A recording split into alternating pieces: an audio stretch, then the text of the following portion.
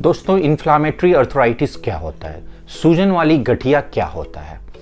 Inflammatory arthritis के प्रकार कितने होते हैं? और इसके लक्षण क्या होते हैं? अगर सही समय पे इसका इलाज ना किया जाए तो क्या क्या प्रॉब्लम आ सकती है?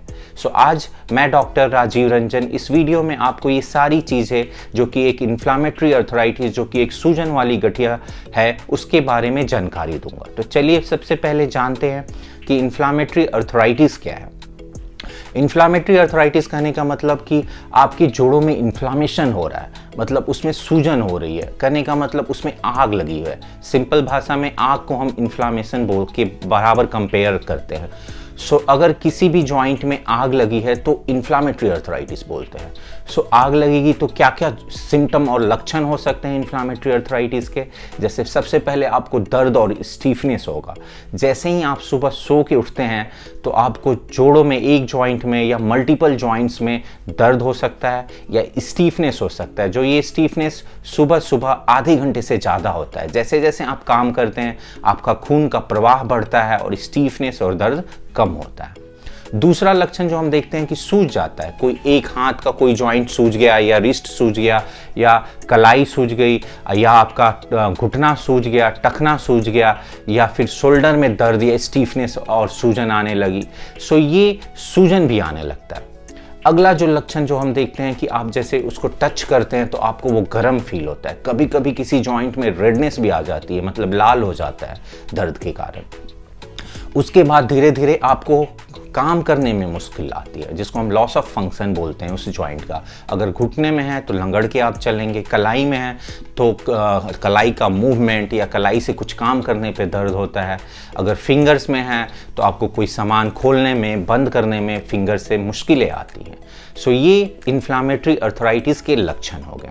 इन्फ्लामेटरी अर्थराइटिस और सूजन वाली गठिया का कारण क्या होता है?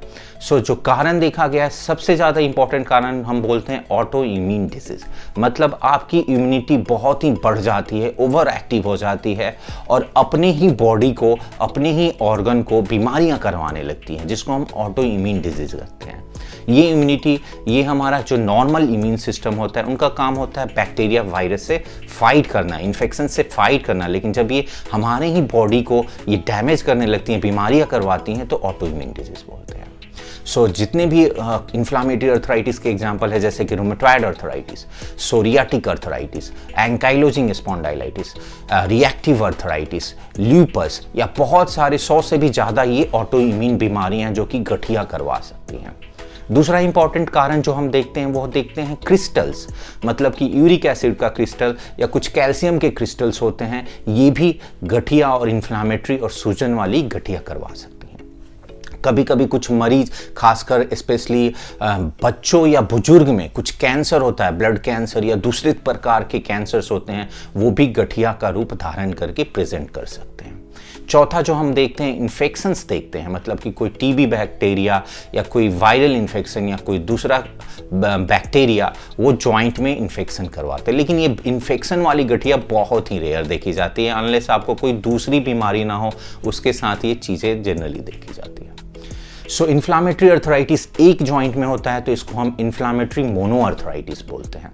अगर दो से चार जॉइंट में गठिया के लक्षण है, सूजन वाली गठिया तो हम इसको बोलते हैं इन्फ्लामेटरी ओलिगो अर्थराइटिस जब आपके बॉडी में पाँच और पाँच से जोड़ों में सूजन और दर्द है, जो कि इन्फ्लामेशन वाली गठिया है सो हम इसको बोलते हैं इन्फ्लामेटरी पॉली अर्थराइटिस सो इस प्रकार से इसको डिवाइड करते हैं और उसके कारण अलग अलग होते हैं। सो रूमैटोलॉजिस्ट का जो काम है, पता करना है कि आपका इन्फ्लामेटरी अर्थराइटिस किस बीमारी से हो रहा है और फिर उसका जल्दी डायग्नोसिस करना ज़रूरी होता है। क्योंकि इसका अगर जल्दी डायग्नोसिस ना किया जाए तो ये धीरे धीरे सारे ऑर्गन में स्प्रेड करने लगता है और डैमेज करने लगता है। जैसे कि चमड़े में लाल लाल दाने करना, आँखों में सूजन करना, लाल हो जाना आँखें बार बार या मुँह में बार बार छालें होना, या फिर मांसपेशियों में दर्द, बुखार, वज़न कम होना, या फिर अंदर के जो ऑर्गन है इंटरनल ऑर्गन्स जो है, जैसे फेफड़ा हार्ट किडनी आते सब में ये सूजन फैलने लगती है, ये आग फैलने लगती है।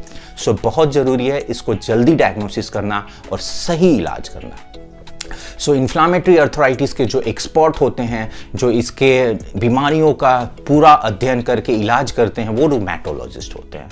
तो जब भी भी इसके कोई भी लक्षण दिखे तो आपको रोमैटोलॉजिस्ट से मिलना चाहिए।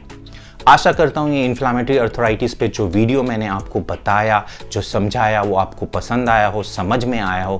अगर समझ में आया है तो कृपया इस वीडियो को लाइक करें, मेरे इस मेडग्राम चैनल को सब्सक्राइब करें।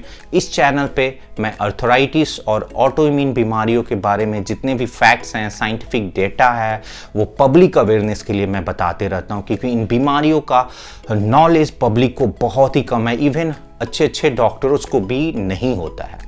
धन्यवाद दोस्तों नमस्कार।